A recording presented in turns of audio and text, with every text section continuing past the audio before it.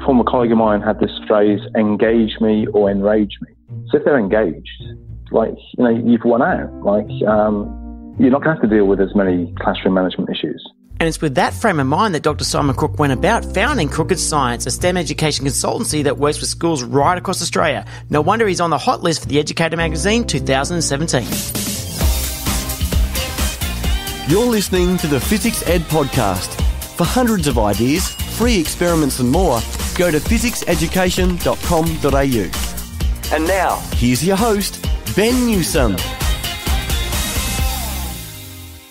Yes, welcome back to another Fizzics Ed podcast. This week we are speaking with Simon Crook, who used to be a senior e-learning advisor for the Catholic Education Office in Sydney. He's an ex-high school science teacher of 15 years, by the way, but nowadays he is running CrookED Science, which takes him right across Australia to help out schools teach science, and especially with the new syllabus coming up in HSC physics and others. Now, Simon is an accomplished author. He's written over 15 articles in national and international journals, and he finds a lot of his work being featured in various national media outlets such as the ABC and so on. So, with all that, plus he's an honorary associate of the School of Physics at the University of Sydney, you bet Simon Crook's got a lot to say when it comes to STEM education.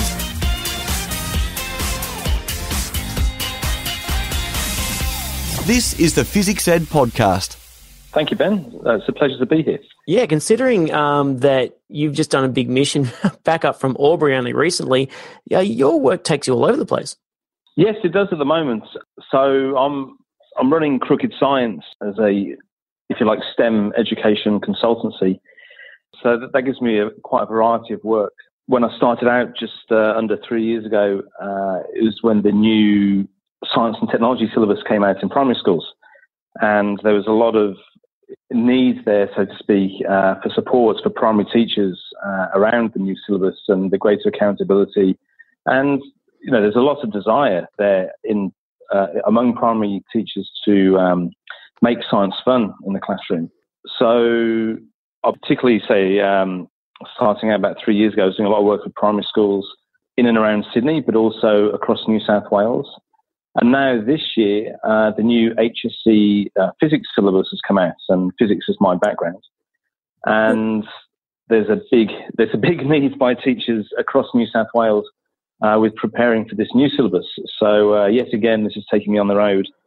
So uh, yeah, Albury, Gunnedah, Kelso, Dubbo, Coffs, um, lots in Sydney. And this is unsurprising so, yeah. considering it's November 2017. Teachers are, you know, you know, wiping their brows, just about done with term four. But hang on, you've got to plan for next year. And now they're rolling a new syllabus out. That's going to make it fun.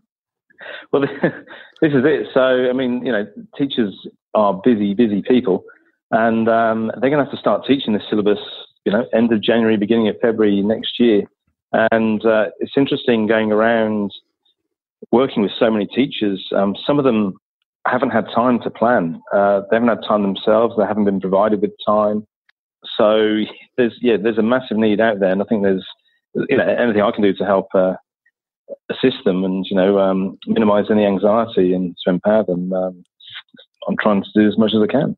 What's the feedback with um, people with the new syllabus? What, what's their feelings on the ground, so to speak? Like, are, are they happy with it? Is it, is it something they're like, you know what, mm, could be better. Like, I mean, obviously everyone's got opinions. Let's be honest, and they're all going to give it give it out to you. Just just yeah. one like as a barometer. I mean, getting to see people face to face, away from the brass, away from the leadership, just hearing from the ground. I mean, what what are they sort of thinking about the new one coming up? Uh, that's a really good question. Um, I've actually written an article about this uh, in the conversation um, when, when, it first came out.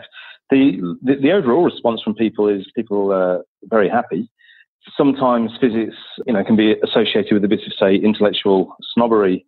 Um, I see it as being more just, you know, attention to detail and um, being pedantic. But there's there's a lot more mathematical rigor in this new syllabus, which a lot of people are very happy with, and there's a lot less of the perhaps um, social kind of commentary that was in the that's in the current syllabus. So that you know, in answer to your question, that's probably the overall feel. However, uh, it's not as straightforward as that. I mean, there were some unfortunate comments. I think it was Michelle Simmons from UNSW labelled the current syllabus as being feminized. Um, right. I mean, we shouldn't be apportioning ge- gender, uh, uh, particularly in a derogatory fashion, um, you know, to a syllabus. That's possibly taken out of context, but it was reported widely in the SMH in places. at the same time, we don't want to throw the baby out with the bathwater. So the current syllabus has a context and a lot of narrative.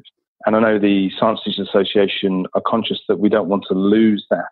Now, experienced teachers will continue that into the new syllabus, which has less context uh, within the way that it's written.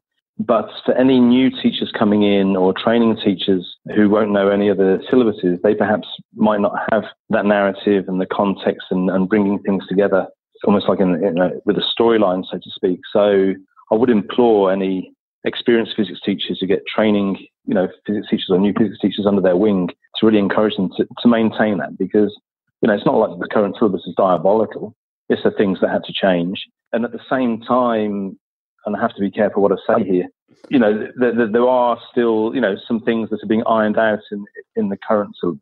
So there are some changes that were made early doors. I mean, NESA had uh, a lot of pressure to get so many syllabuses out in, in um, a short space of time. Uh, I've heard various stories in terms of what funding they may or may not have been given to uh, assist with, say, the proofreading and uh, quality assurance and the like. So they have made some kind of amendments and uh, published some errata, and I believe there's going to be a few more coming out soon, which would be ironic for those people that have done a lot of work in terms of writing the programs if there's a few things to change. Well, the good news uh, is, is, I mean, school practice and curriculums and syllabuses, they roll and they change over time and with feedback and research and all the rest. And um, that's the good news. I mean, it, it's good that it changes and always, you know, ruffles feathers here and there and it makes other people happy. Then they look at it and redo it and go again and that type of thing. I mean, I understand that you're involved in, um, you know, physics education research, if, you know, you know, back in the day. And actually, you only just really just finished, haven't you, on the research side? Yeah, yeah, yeah. Um, yeah, yeah, yeah, I did. Just very quickly, just on the syllabus, um, before I talk about my research there. Yeah. One, one of the strengths of being in education today, say to, you know, the, the turn of the millennium, which is when the last syllabus came out, is we do have modern technology. So things can change. And I do know that some senior people in NESA are very keen to almost have like a dynamic syllabus. That is a real strength. And some of the other things that have come out uh, within it that are really strong are things like depth studies, where students actually get to potentially follow, you know, their real, you know, like line um, areas of interest for their lines of inquiry. You know, so, so there are, you know, some quite new and novel things there, uh, which are quite, you know, interesting. Uh, with regards to my yeah my uh, my study, um, I began my PhD in physics education research uh, through the School of Physics at the University of Sydney back in 2010 uh, Professor Manju Sharma. And I was investigating uh, the impact of um, technology on teaching and learning in the sciences. That was a part-time PhD, so I finally graduated April of this year. So I was, I was over the moon to do that. Um, but I, yeah, I was, it, you know, it was a hard slog, but it's an experience that I, I cherish uh, in terms of the skills I've picked up along the way and just the exposure to a new world in terms of with academia, with uh, getting published in academic journals, working uh, with academics after, you know, I, I, graduated from uni back in '94, so um, I'm certainly a mature age kind of a PhD student so yeah, it, it, was a wonderful experience, but I'm very happy that it's now over. Yeah, I bet. And actually, um, we've got a number of people finishing off their PhDs at, at work at our place, and um, yeah, that's pretty much the same way. We've got a few people taking some gap years and bits and pieces, and I, yeah, in some ways, don't blame them. Um, you know, it's a, it is a hard slog. I mean, you've certainly got a lot of stuff to do, and hey, once you're done, it's a good thing to look back on. And gee, in the middle of it though, wow, but actually, now that brings up the point. I mean, um, yeah. there's plenty of people listening who, you know, all sorts of backgrounds and all sorts of studies they've done. Just what made you fall into science in the first place? I mean, obviously, you're very much heavily involved now. You're instructing schools and all the rest. When was this something you always want to do as you went through school? Is it something that you picked up later on? I mean, what drives you? No, um, I, funnily enough, because I would go around so many schools, and you know, um, particularly in say primary schools, kids ask that question quite a bit. So I, I, do remember distinctly. Well, my dad was an industrial chemist. I mean, I didn't know what that meant when I was a kid, but I do remember distinctly. About an eight-year-old, I think my aunt got me a book called Discovering Earth, and it has loads of things in there about geology, but also about space and just you know general aspects of like you know kids science. And I just found that fascinating. And then once I got into high school and started doing science, you know, I had an excellent science teacher from the equivalent of uh, year seven.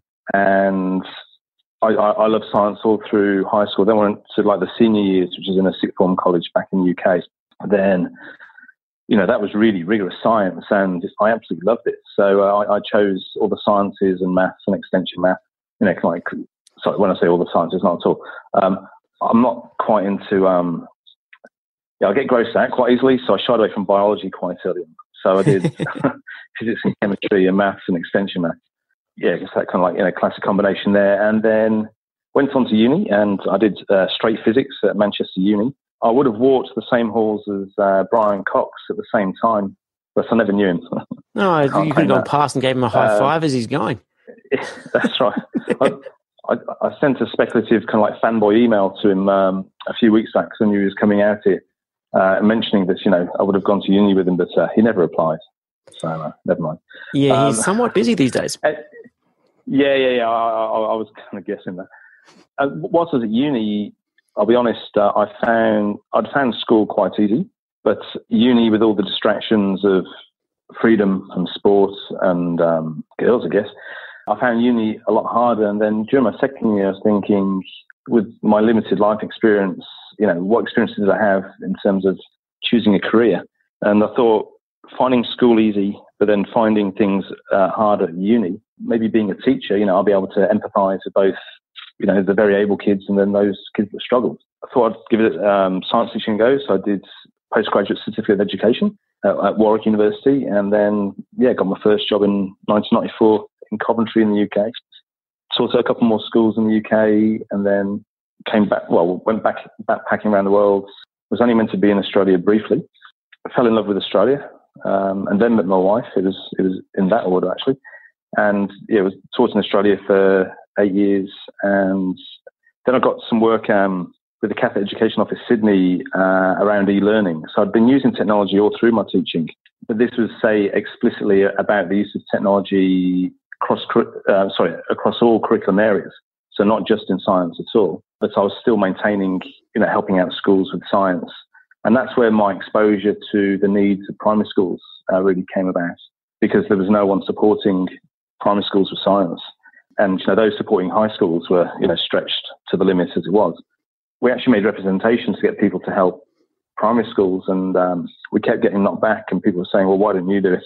Really? Yeah, yeah. So after a while, I thought, yeah, I might do it, but um, if I'm going to do it, I'm going, I'm going, to do it on my own terms, so to speak. so I, uh, I, thought I'd, I thought I'd uh, take a chance and step out. And worst case scenario, if I fell flat on my face as a physics teacher, I'd, you know, I wouldn't be out of work for long, so to speak. But um, I haven't looked back. To be fair, I'm loving the the sheer variety.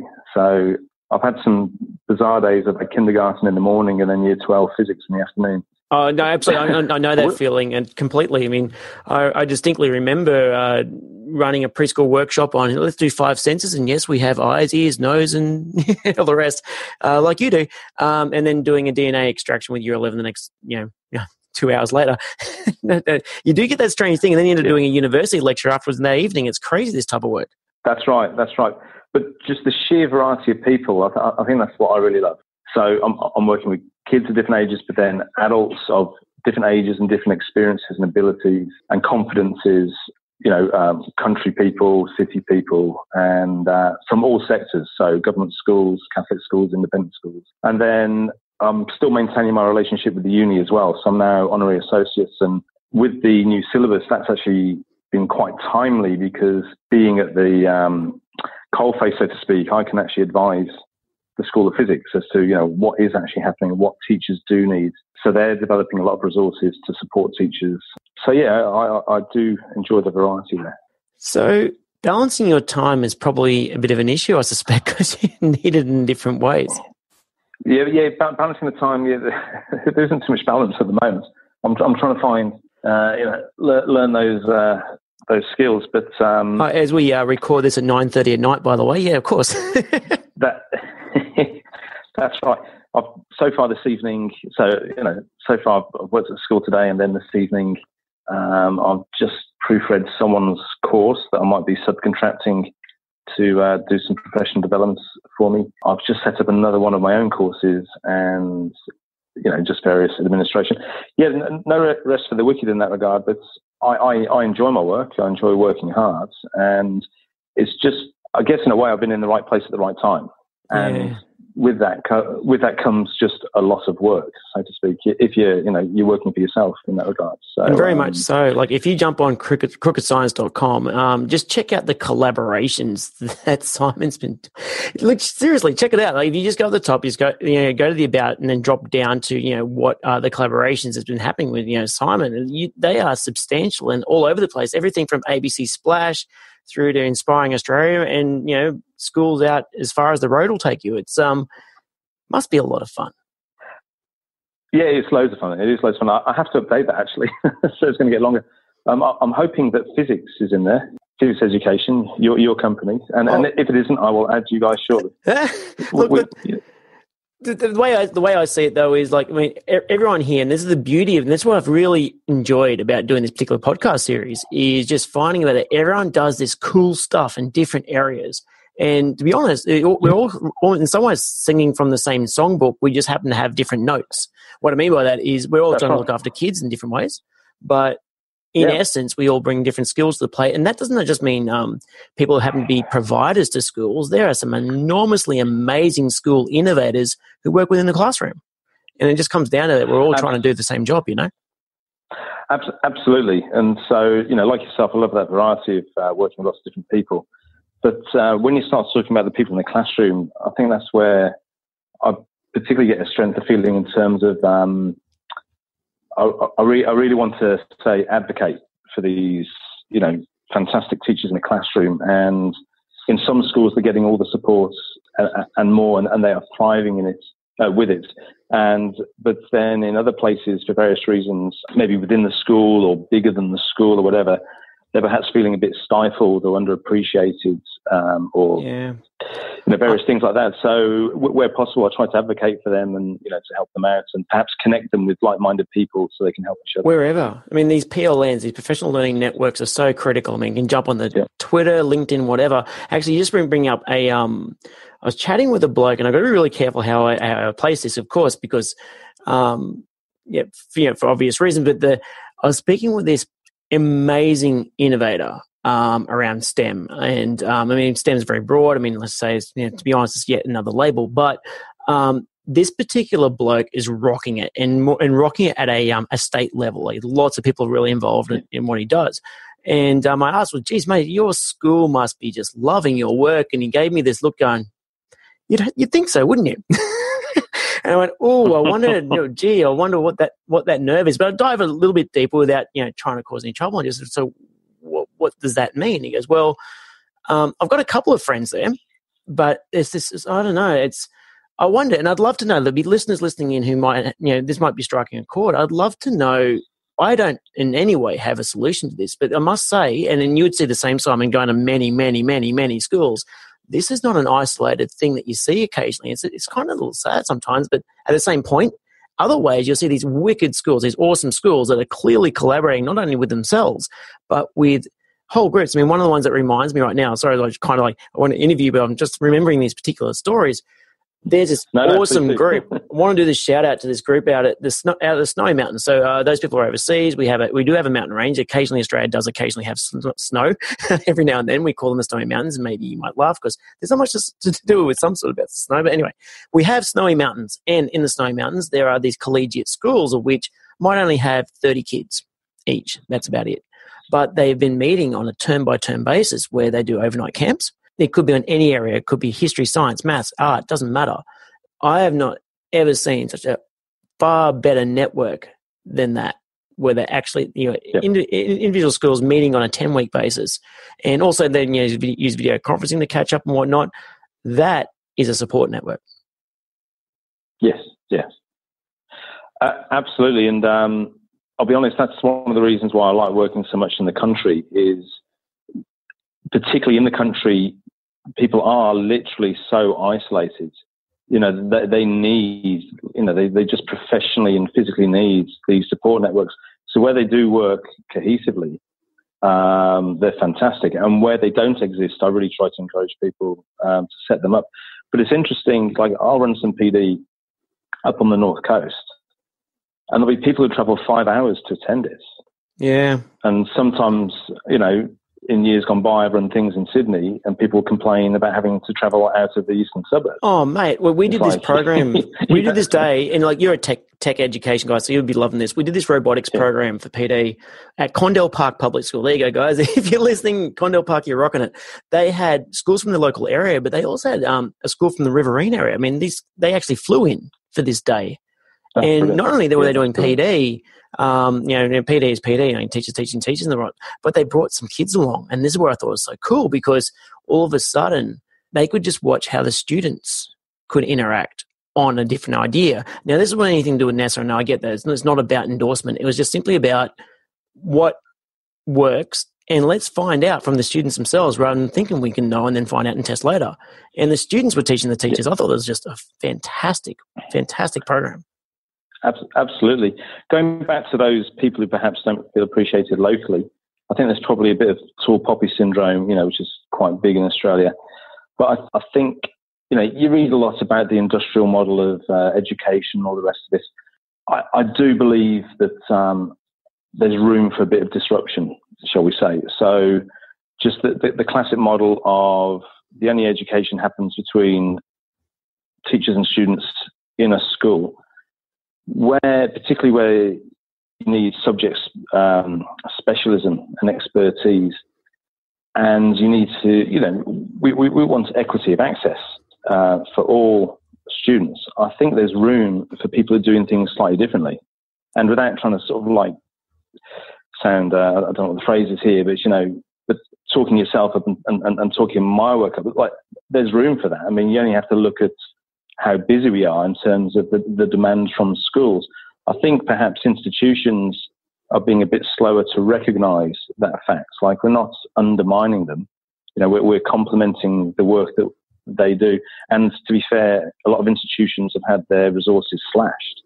Well, so, a, you know, their regional advisors, you know, this is a real groundswell that's getting some genuine momentum right now. I mean, actually, we um, I wasn't able to attend. I was so disappointed, but uh, Holly Kershaw from work was able to go pop down to Melbourne yes. for EduChange, and EduChange is run by Education Changemakers and ran a very interesting program whereby they had all these people from all over the world uh, just looking at what can they do to innovate. And so it'd be worth just checking out. I know it's episode twenty three of this podcast, where it's just quick three minute excerpts, not just only from the speakers, but from people on the floor who are doing these cool things at their local schools and listening to the interviews, you can just hear that these people are innovators, yet they don't even realize it. And they're only just starting to realize that there's these cool little networks that actually exist. And it's not always about the person in the limelight. There are genuinely people making genuinely huge differences, but they've got to be the, oh shucks, it's, uh, it's just little old me. But to be honest, they're actually doing a fantastic job. Um, yeah, it's definitely That's worth right. checking that out. It, it's amazing what's actually out there if we you know got to know more. Absolutely, and I, I think uh, just on that front as well, I, I know some of the people like uh, Summer Howarth uh, who work for them, uh, and she's absolutely fantastic. But teach meets, yes, mean, you go along to just a, a, little teach meet, you know, forty people there. What you hear from, you know, just uh, perhaps uh, an introverted teacher down the road to what they're doing in the classroom, absolutely fantastic stuff. And, and often this stuff is better than what you see at, you know, great big massive conferences. I mean, there's one conference that will remain unnamed, very, very heavily advertised. And they're actually almost trying to, um, I've got to be careful what I say here, but people have been hosting teach meets at these conferences. And the conference has been benefiting from the teach meet more than the teach meet benefiting from the conference, shall we say. So yeah, kudos and the thing is, I agree with what you're sort of saying with these teach meets because I know some of the best ones. I mean, I know there, there are there are people listening all over the world that you know there are different places for having different meets. But I must say, in Australia, and knowing what Australians are, some of the best teach meets, frankly, are in the pub, or in the local community centre, or in the scout hall, or in the school hall after school, where it's just yeah. people just taking off their school ties for a moment and just being normal. And like I know, I mean, obviously uh, there are different ways to approach it, and I'm clearly an informal person, but it's when you break down those barriers and get away from the lectern that actually real learning happens. That's right. That's right. And uh, if you chat to Ewan McIntosh, uh, he'll tell you that the very first Teach Meet happened in a pub in Edinburgh. Yeah. So uh, actually, yeah, I was going to ask yeah, you about this, and we went down a different rabbit hole. But I, I want to go back to this. I never got a chance to speak uh, teach in England, and I, you know maybe I'll get to do it one yeah. one day. I certainly got to teach in summer camps in California, um, and you know, I've been face to face in different ways to students all over the world using video conferencing. But I've never been in a classroom in England. Now you've had that chance, and you, I just love to know, just compare and contrast. I mean, if it's from listeners that may have never done that, I mean, what, what's it like? What's the differences? What are the similarities? That type of thing. Okay, it's well. First of all, I've been over here now for 15 years, so I think things have changed a lot since a over bit. there since uh, since I was there. Mm-hmm. Yeah, it's look, it's not that different. You know, kids are kids. Uh, yeah. What I would say, particularly for Australian listeners, is um, things are more traditional here in Australia, and more old school. So, for example, uniforms a lot more daggy over here than back in the UK. Like the right. girls wear stuff you know, they, they, were the same as the boys, you know, like with a jumper, a tie, maybe a skirt or kilt, but, you know, like they could be wearing trousers like the boys. Right. Whereas over here, particularly in New South Wales, actually, and this is part of the history of Australia, but there's so many single sex schools over here. You know, most things in the UK are co ed. Um, another big organisational difference is um, Catholic schools in the UK are government schools that teach, you know, religion, but the people who pay your wage are the local education authority, you know, which is like the local council. Right. Um, whereas here, they're a very distinct, you know, separate system, again, because of history in Australia and sectarianism and things like that. So I found those things, you know, quite um, strange. In terms of, I mean, you know, kids are kids. They are. Although obviously that they can behave differently in, say, co-ed settings to single sex settings, single sex settings. But then, the, in terms of curriculum, this is where I don't, I haven't really bothered paying attention to what it's like over there now. Um, and I do believe there's been a whole load of fads in recent years, which Australia seems to be following, um, and perhaps shouldn't be um, if you listen to the researchers. But um, certainly the curricula that I did at school and what I taught before I came out here was, you know, like quite rigorous and quite mathematical, talking about the physics didn't quite have, say, the, uh, the, the, social aspects that we uh, currently have. Then again, the flip side, there's some things that are, say, in the HSC syllabus here that I didn't do till uni. So special relativity, I mean, if there's international listeners, I mean, some people might be surprised to see that's, you know, being studied by 17 year olds in the school. Uh, that's uh, difficult enough to teach to teach to a first or second year physics student. Sometimes, I mean, I'm going right. to get the I'm going to get the quote wrong. I'll probably I'll go go look it up. And Carl Sagan was talking about about you can have people in a university course that still don't quite understand the mechanics between the Earth, Sun, and Moon. Like there is a more important quote than that, but I never remember quotes properly. But the, the point is, is that you can never assume that um, the learner in front of you actually knows what you're, you're actually talking about. Yeah, yeah, definitely, definitely, and um, so that's that's where we need to really work on things like you know critical thinking and problem solving. It's not just rote learning facts and things, you know, and we need to be able to apply and work things out from first principles. So yeah, th- th- those skills are, are, very very important. Are those um the um, project based learning thing, this whole make a movement thing, anything where kids solve the problem and then ask you the question, going, hang on, I need. To, I, it's almost like they're asking for you know, like if you're working on a whatever it is you're working on, just say you're working on an engine and you know that you need a, a particular tool to remove something or to add something to the engine. What I love watching is when learners are working on a particular problem and it doesn't have to be a building thing, it could be something else. And they kind of turn to you go, Look, I just need to know how to work out this thing. Can you show me how to give me this thing? And I'll go back to what I'm doing. What they're really doing yeah. is they're asking for a knowledge based tool. And they're the ones actually realizing yeah. they're might be deficient in this area, but more importantly, because they know they need it, they want to learn it. And I just love how it's not just here, I'm going to ram this textbook down your throat just for a little while, as opposed yeah. just this idea of just students going, you know what, I actually need this. I've just discovered that I need this thing. It's really cool.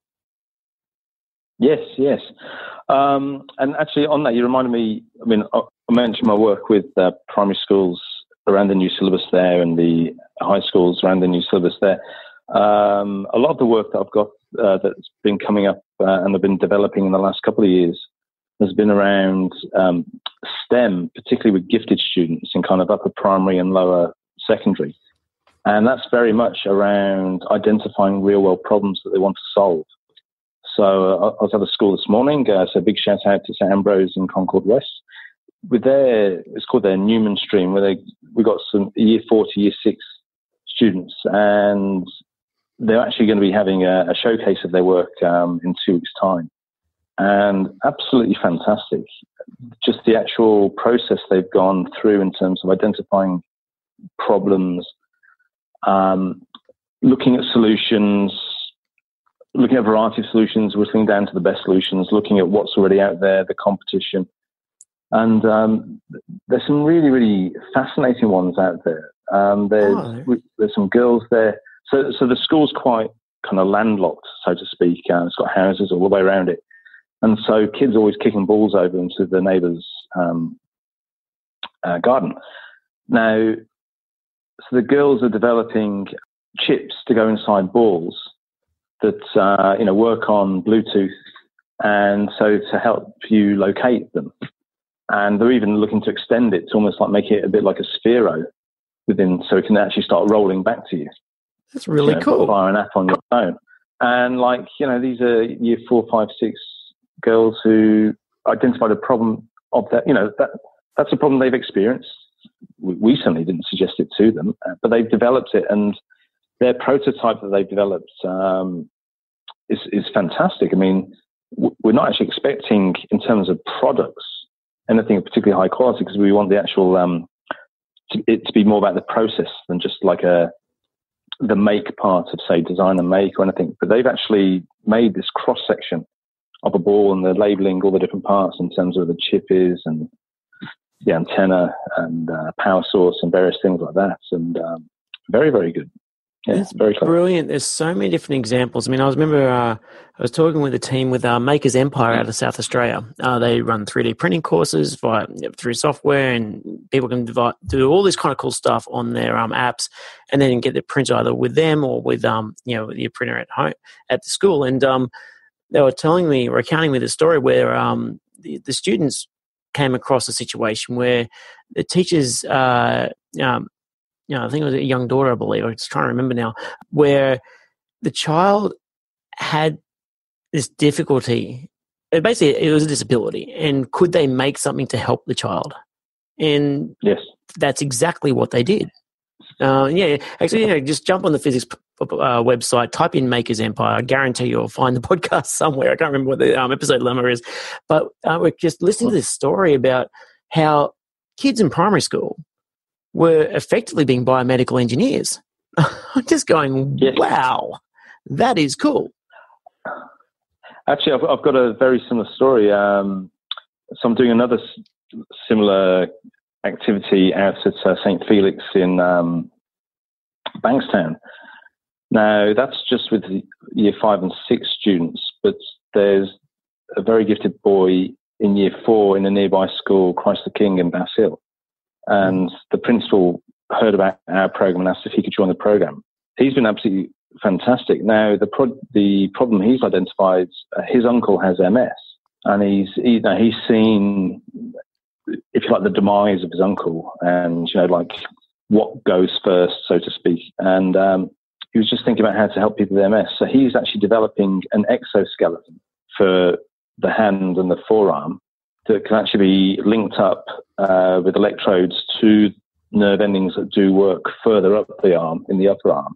And as you say, like he's he's a bio, you know, mechanical engineer. Like it's it's incredible.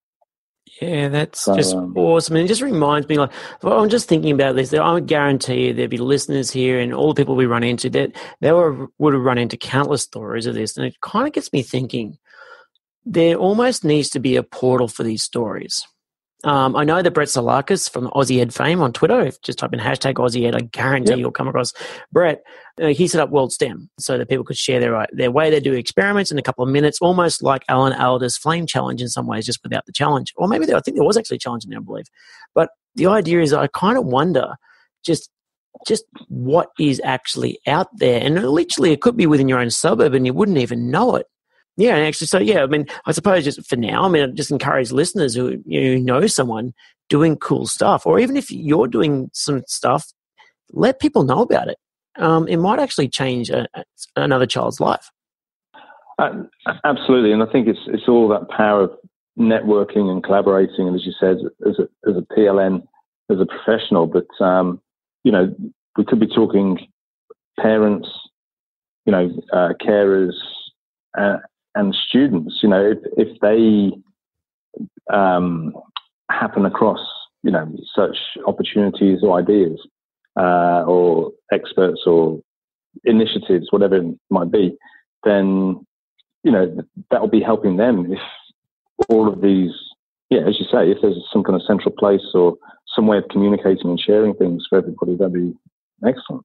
I guess um like what's always nice though when you share stories, uh, people often think it's got always got to be about the good stories. I tell you what, there's a lot to be said about here's what I messed up, here's what I totally went pear shaped. Don't do this. Pretty good idea. If you want, you can try. You can find out it doesn't work. I mean, I almost feel like I'm sort of putting you on yeah. the spot. It turns out I probably am putting you on the spot. But have you ever had like you know when you think back through all your teaching years, or even when you do professional development, it doesn't really matter. Um, is, is there ever been a time you go, you know what? This this lesson ain't working. it's not where I thought it was going to go. Have you ever had like a genuine clanger and you're going, you know what, I won't do that again? Yeah, yeah, I have. I'll, I'll have to have a think as to um, like some, some some big ones there. So you just reminded me of it's kind of a funny story. So I mean, it is a bit of a clanger. When I was working in the Catholic Education Office, um, there were some renovations going on. So we used to have to run our PD out of schools because you know the uh, the training rooms were you know, like being gutted. And I remember one time I was doing um, it was an e-learning coordinators network along with the curriculum coordinators in schools, actually trying to get the curriculum leaders to talk to the technology leaders, which doesn't always happen. So the lady responsible for the curriculum coordinators and myself, you know, we co-ran this thing. The nature of, uh, say, meetings in Catholic schools is they might start with a prayer. Now, I was running things through my computer and I had like the PowerPoints, but she was in charge of the prayer, and there's some music to go with it. And it was so we'd play it, and my computer defaulted to iTunes. Right. So there's this kind of like somber moment, and you know people are reflecting, and you know, they play this little, I don't know, bits of mu- you know music or whatever, and then you know there's a lull, and it's the end, and then she started, and you know she was, if you like, you know, uh, the first to speak, and she had everyone's attention. She was just there. I was at the back of the library, uh, you know, because I wasn't going to be speaking for about an hour. I didn't realize that uh, iTunes was just going to continue playing, and it was on shuffle. Right. And I had 10,000 songs on, on my computer, and of all the songs to kick in, just as we had this somber moment, it suddenly goes, Give it to me, baby. Oh, uh-huh, no. uh-huh. And I had to leg it from the back of the library. and she's looking around herself. Um, just trying to stop the computer. But in terms of absolute clangers, in terms of things I've done that have just gone absolutely pear shaped, yeah, I, I should. Oh, that's okay. No, that, totally. I, look, I, look, I, I, def- I definitely have done. I mean, well, the tech side, look, Look, there'd be plenty of people who resonate. While, while you're sort of thinking about it, there'd be plenty of people who resonate with exactly this type of issue. In fact, when you were describing that, I couldn't help but picture, I think it's an old ad. I can't remember it was like a telco or something like that. Oh, maybe I got it wrong. People can just tell me later on. But they, um, they're at a funeral and then someone thought the best thing to play would be ACDC. Everyone looked at them funny and then they realize actually, you know what, this is actually this person's song. I mean, I don't know how you could actually make the offspring actually fit with a somber uh, church moment, but, but um, you know, things roll on and, you know, the world's okay. I mean, I often sometimes measure like the yeah. idea of if no one remembers two years later, was it really that bad? yeah. I've just remembered a couple of things. One's more a case of um, just bad teaching as opposed to, you know, like trying something new and it all went badly uh, in my very first year of teaching. Um, so you know, you, you're really shattered in your first year of teaching, and you know, marking isn't you know why we signed up for the job, so to speak. And I had a pile of year seven to mark, and mm-hmm. uh, we'd just been doing um, sex ed, and they had some sex ed homework. And I think the way it was in that school, there was like a worksheet or something, and like it had loads of questions, a stupid amount of questions. It was just so much marking to do. So I just I was just a very bad teacher that night, and I just basically ticked most things, just thinking, you know, I don't want any blowback. Yep. Didn't think anything more of it. Gave it, you know, all the uh, the word back. Anyway, um, a few days later, I got a, a letter from a parent, uh, basically saying, you know, looking at all the answers that I'd ticked correct, that her child had um, answered which were totally incorrect. And she was actually being really nice. She's saying, look, you may not know some of these things about, you know, the, the female reproductive system. Um, you know, I'm a nurse, you know, perhaps I could tell you something. no. You know, but, uh, yeah, yeah, you know, it's just like, oh God, this is awful. So, you know, that's just me being a, a but teacher. you know but, what? Um, what a great parent. I mean, she could have, you know, yeah, oh, lovely. taken yeah. you to town, but she went, you know what, I'm going to, I'm going to try and help this poor bloke. Yeah, that's right. she took pity on me. Mm. Um, I, I used to have this, um, kind of extravaganza thing called a wall of flame, which I'm, I mentioned in passing to Derek Muller of Veritasium because he was in our research group before he became really, really famous. Mm. Um, and I believe he's actually made a video of it. Is this the, uh, not the Rubens tube, but like the two, the uh, 2D plate with flame? No, no, this, this is slightly different. So it, it's actually the whole notion of um, rates of reaction with, say, surface area, and Ah. why, say, why, why, say, dust fires or um, sawdust fires are particularly dangerous. So what I would do is um, get a very long hose. So if you're going to do this, please do the risk assessment because I don't want to get into trouble if anyone does this incorrectly. You get a very long hose to the gas tap, so you get the Bunsen burner on the floor. You stand on the bench if you're allowed to stand on the bench with your risk assessment, um, and you have, say, a beaker with some coffee mate. Okay, so it's just coffee whitener. You know, it's just loaded carbohydrate, and you just sprinkle it, and it wafts down. It ignites at the bottom, and with you know convection, you know the the, the heat is transferred upwards, and it all ignites, and it's called the wall of flame. And um, there's a couple of things that's actually gone wrong twice. You think, how could I do it wrong twice? The first time I did it wrong was I was in uh, a school back in the UK, and I didn't quite realise that they had lower ceilings in this lab, and I had a little bit too much um, coffee mate in there, so it sprinkled down, went up, hit the ceiling, and then spread in every direction, including towards me. So I turned away and disappeared in a cloud of smoke, and then half the class were laughing their heads off, and half the class were really worried. And when it subsided, I'd kind of singed my hair a bit. Uh, and then at my last school over here, very early on, uh, I did this uh, with the class. And like, you know, it's not just showing off. Like there's a lot of learning to be done here. I actually, well, I didn't realize the spot I'd chosen to do it was directly under the heat sensor. So Oh, that's right. smoke detector because it's a science lab, but they had heat sensors. And so I set off the fire alarms. And so the whole school had to get evacuated. And, Yeah. um, you know, that, that costs schools a lot of money. You know, like it's hundreds of dollars per fire truck and several turned up. But fortunately for me, the principal was a science teacher and she was looking to raise the profile of science. And she kind of said afterwards, she goes, no one's going to forget that one. Yeah, that's so, true. Um, it, it, And then, um, and just for the listeners at home, there are, there is another way. Where, like we actually do a, a similar version of that um, experiment, but which involves you not being on top of the desk, which is kind of a way around it. A way around it is if you have the flame uh, coming out sideways, uh, you just have it, um, you know, in a way that it can't fall down. There's usually we have a volunteer in full PPE for full protective equipment holding it, you know, face shield, Yeah. gloves, everything works. And you you have a hose, like as you per you say, in a funnel, and you angle the funnel in such a way that it doesn't actually have the flame go anywhere near anyone, um, and it goes upwards, Yes. and there's no one above it. The only issue is I completely agree with what you said. Risk assessments, people, and really like uh, don't do what Donnie don't does. Like it's really uh, when you watch someone running a science show presentation like that, or you see someone on YouTube, is it's hopefully and quite often, especially in this proper museum, it's not their first day, and they've had a lot of people actually go through many different ways of how it could go wrong.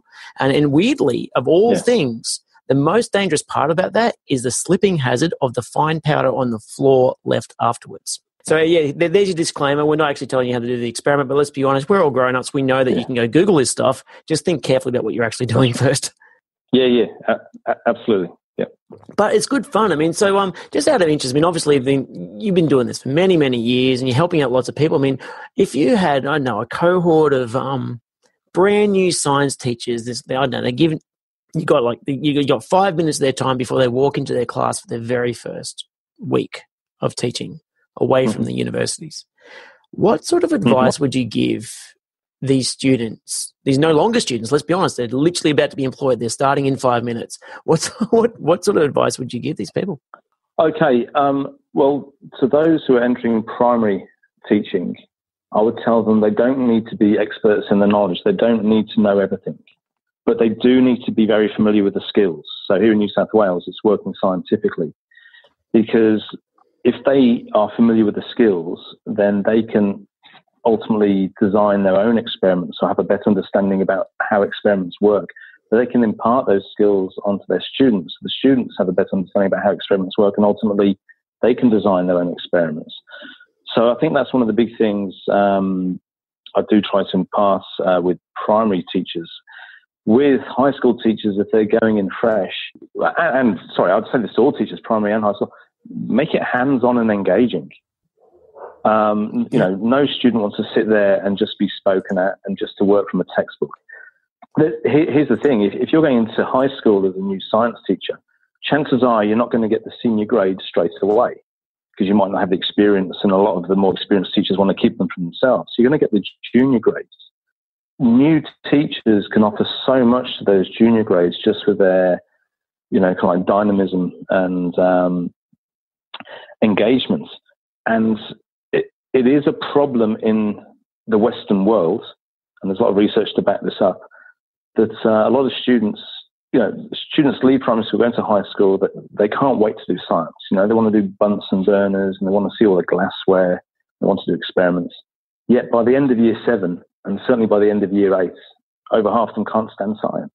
Now that's a sad indictment of lower secondary kind of science education, but it's there's various reasons for it, um, and it's quite intimidating when you have a class of you know 30 plus, you know, uh, 13 year olds uh, facing you. But if um, a former colleague of mine had this phrase, engage me or enrage me.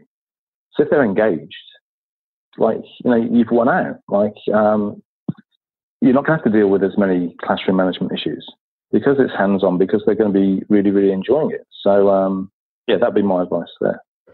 I love that advice. Engage me or enrage me. That's just brilliant because, I mean, I know like we've taught in juvenile justice centres and also even maximum security prisons. And I mean, so we're, we're talking to people who've been you know, more than just a bit naughty. And yet, if it's engaging, it's not actually as big a deal as it sounds in any way. Um, and so yeah. that is very, very, very true. Um, love it. No, thank you very much. And uh, look, and again, thank you very much for popping in on this podcast, considering that it is late at night and you just looked over it, yet more papers and bits and pieces. Look, much appreciated. Look, I know there'll be some people who want to get in touch. Uh, how would they do that?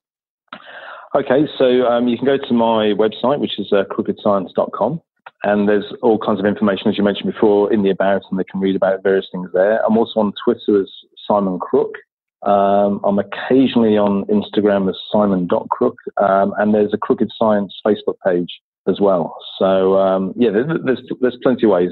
Um, I'm on LinkedIn and things like that. Um, and I'm sure people can track down my email address as well. Um, yeah, no worries. Which, we'll, if you want it. Yeah, if they throw yeah. it down. Yeah, yeah, yeah. Okay, so it's just simon at simoncrook.com.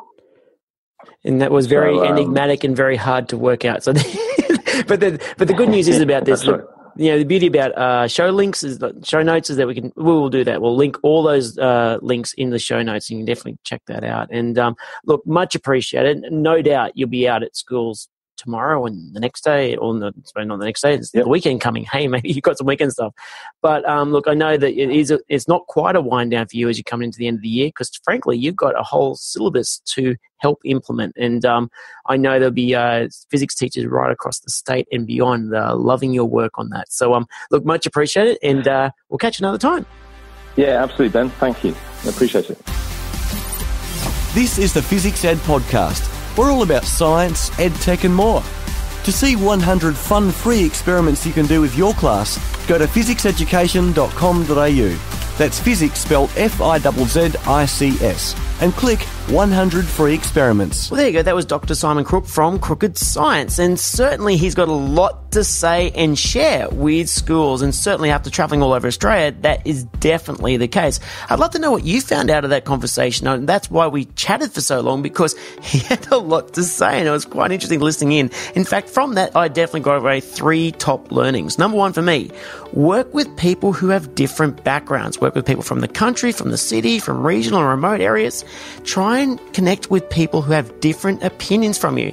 It's actually quite interesting because it doesn't really matter so much if they're highly experienced or less experienced. Sometimes it's their own backgrounds that'll help shape a conversation in a different way and you'll be able to get more knowledge from it. And that's certainly important.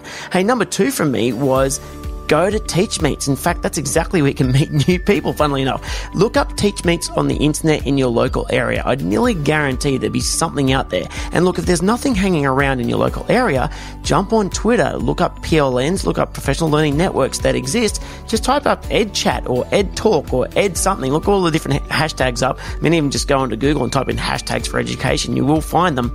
This way you can meet up with people who have, yeah, they'll be great to speak with people with similar backgrounds, but it's good to meet people with different backgrounds.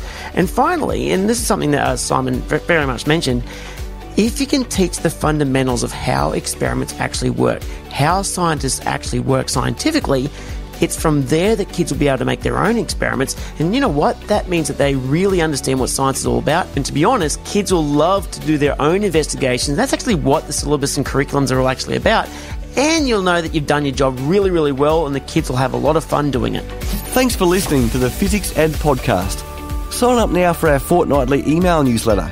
It's loaded with details on new experiments you can do, STEM teaching articles, new gadgets, exclusive offers, and upcoming events.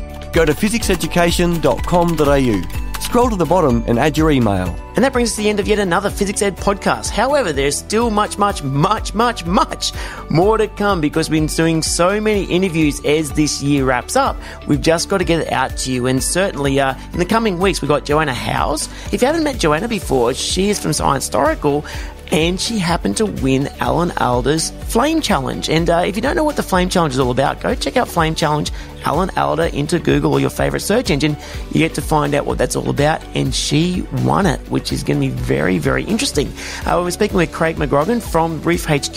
That is from the Great Barrier Reef Aquarium up in Townsville. That'll be quite interesting, as well as Margaret Shepherd from the Science Teachers Association of New South Wales and many more guests, certainly. So until then, I hope I catch up with you next week. You've been listening to me, Ben Newsome from Fizzics Education, and you've been listening to the Fizzics Ed podcast. I'll catch you next time.